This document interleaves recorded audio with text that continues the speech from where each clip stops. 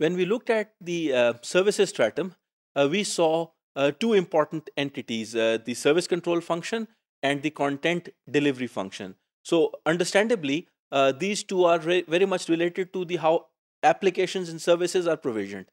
But the overall management, execution, configuration, and essentially all the aspects related, related to the underlying network are uh, contained in the transport stratum.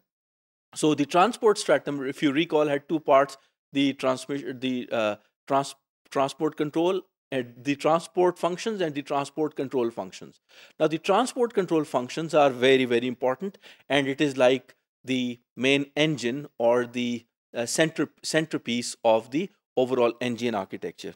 So in this module, we should look at how the control architecture and protocols are implemented. Now this module is an, is an opening to couple of modules that, that we shall soon be seeing inshallah. So we shall see the architecture first and then we should look at the network access and control functions in respective detail in some of the modules that follow. So the network access and control function has a central position in the overall NGN architecture. It interacts with the applications, the customer, the services stratum, the transport stratum, including the radio, the resource and uh, admission control function, the mobility management control function. Let's look at this figure once again. Here we see that the transport stratum has the transport functions and the transport control functions.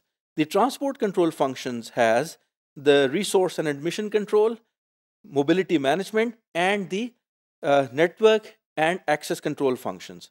Now, the network and access control functions, let's zoom in into the network and access control functions.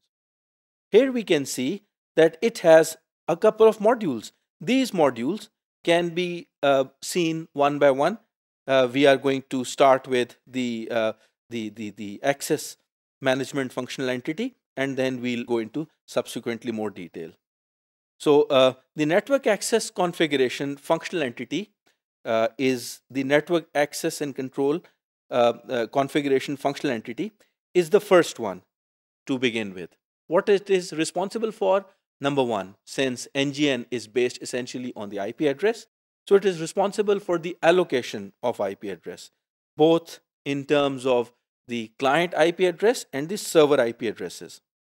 The server IP addresses could be uh, related to the DNS server and the other proxying servers which are used in, uh, for instance, signaling for uh, voice over IP like SIP servers in IP multimedia subsystem. So uh, DHCP, the Dynamic Host Configuration Protocol, is a natural mechanism to allocate the IP addresses. Now, these IP addresses could be assigned in a, in a permanent manner. It's also known as the home address, um, or it could be a temporary IP address known as the care of IP address.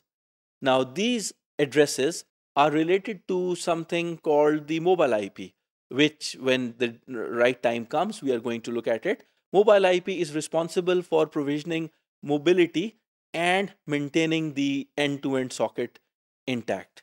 Uh, so uh, the responsibility of the network access configuration uh, functional entity is to make sure that the IP addresses are allocated and they are properly utilized to ensure that the connection is not uh, compromised. So the binding or the association between uh, these two addresses is also the responsibility which is implemented by the network access configuration functional entity.